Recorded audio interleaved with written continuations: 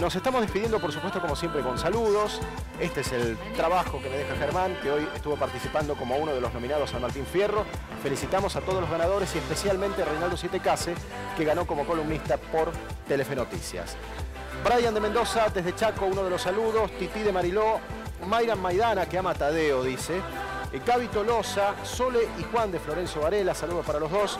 Felipe Chileni, Camila, que saluda a todas sus amigas, y a Pedro Facio, que nos están acompañando en esta noche, que se quedaron pegaditos viendo la transmisión del Martín Fierro, que fue realmente espectacular allí en el Teatro Colón, y se quedaron con nosotros. Como otros tantísimos que tengo saludos aquí, les mando el saludo especialmente para todos, pero por supuesto no hay tiempo. Mañana seguramente estará continuando Germán.